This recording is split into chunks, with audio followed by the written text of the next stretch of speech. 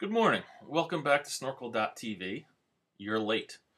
Today's lesson, we're going to focus on creating a rough ease using the GreenSock tweening platform. If you pay attention to the SWF I have running right here, you'll notice that when I roll over this text that it flickers and scales seemingly erratically. It's not your typical smooth, creamy, buttery tween uh, that you're used to when using Tween Max or Tween Lite. And every now and then, you're going to want to have this sort of effect, especially when you're doing something that's sort of spooky or, you know, maybe a little grungy or MTV-ish. So here we have an example of a rough ease that's affecting the flickering of this text and also the flickering of the light that is illuminating our scary skeleton down there.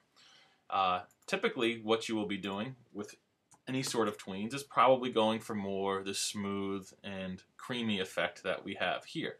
But again, we want to rough this up a little bit. I want it to be all erratic and in your face, so to speak. So what we're going to do is take a look at the ease visualizer, which you get whenever you download the GreenSock tweening platform.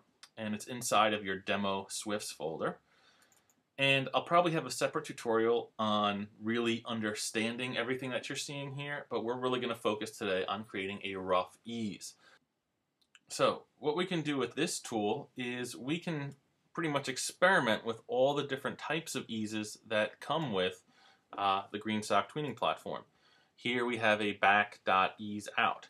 Um, you'll probably be focusing on this green dot here as it moves, and you'll see that it starts out really quick, goes beyond its ending point, and then comes back to where it should rest.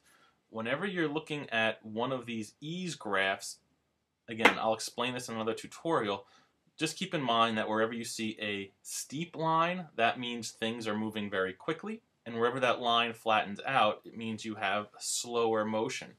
So, when we visualize this, you'll see that that ball starts off very quickly. That's represented by this steep line right here, and towards the end it slows down and we have a very flat line over here. We'll look at one more ease really quick and I'll do a circ ease out and again you'll notice that it's steep at the beginning so when I visualize this it starts really quick and then as that line flattens out we are slowing down because as that line flattens out our rate of change over time is decreased. Again, I'm going to talk about this in much more detail later, but let's get to the heart of the matter, which is a rough ease. So here we have an ease that's really smooth. If I say make rough, well, it's going to do exactly that. It's going to jag it up a little bit. All right, so we have this ball getting all erratic over here and bouncing around. Now there are a few different parameters we can set here. If we adjust the strength and make that 5, you'll notice that it's much more extreme, the changes that are happening over time. Um, the number of points pretty much dictates how many times this ease is going to freak out while it's running. If I set this down to 5, you'll notice that um, we have much fewer points here. Um, what I want to also, you'll notice that at some points that the ease goes below the initial value and it greatly exceeds the ending value. Whenever the line comes outside of this box, we're either going beyond the ending point or below the starting value. Um, what I'm going to do is also show you that we can randomize this. So every time I tween, it's going to be different because all those values will be randomized. Let's check that off and let's go over to a bounce ease, I'm sorry, a back ease in out, which means that when the tween starts, it's going to go below the starting value and then it's going to exceed the ending value.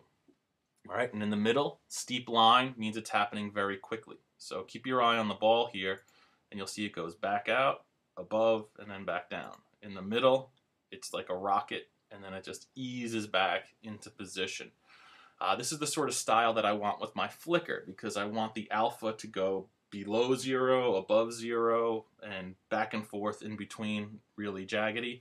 And the same thing with my scale. I want the movie clip to scale and be less than its original value and also freak out and get above its maximum value.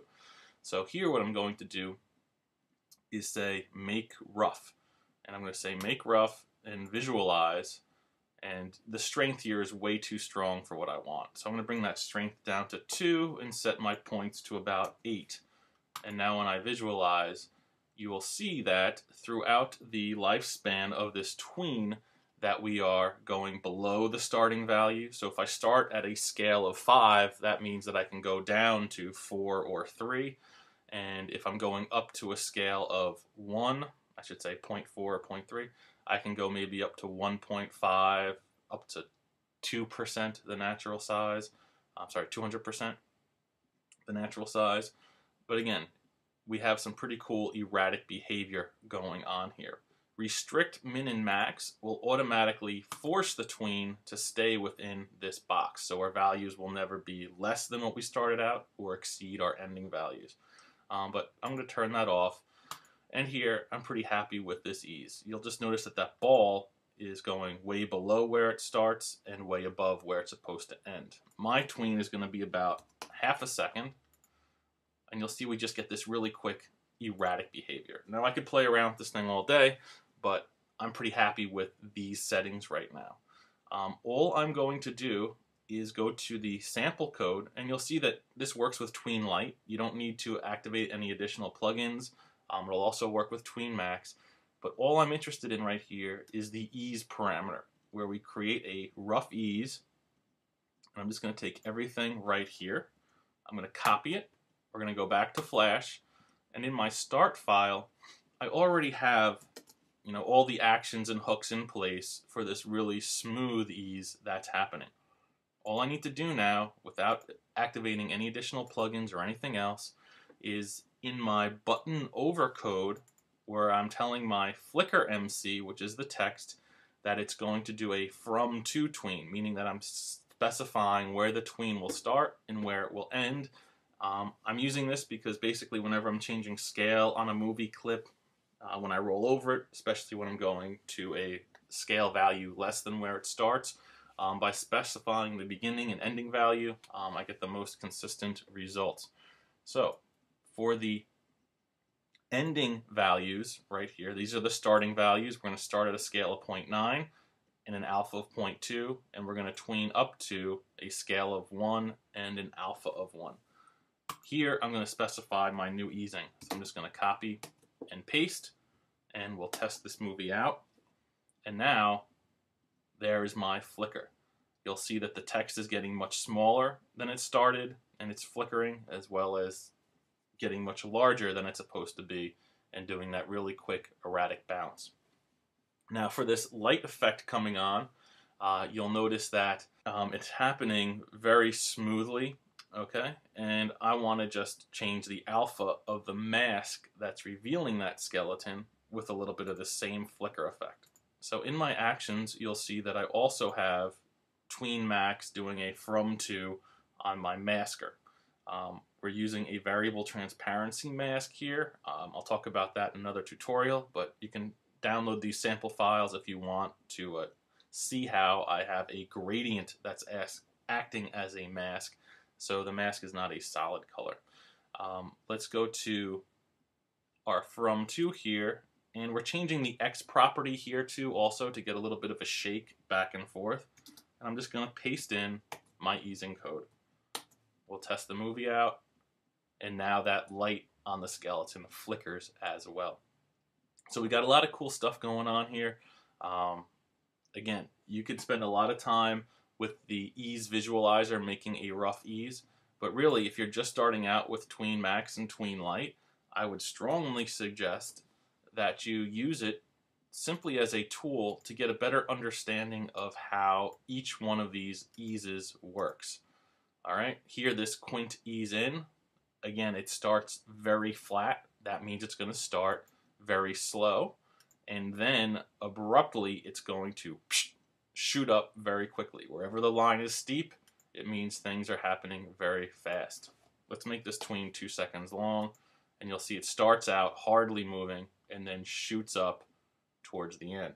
Um, when trying to figure out how these eases work, I would recommend using a long duration so you can really get an understanding of how these eases affect your tweens over time. All right, folks, thanks for watching. Um, please be on time next time, and uh, we'll talk to you soon.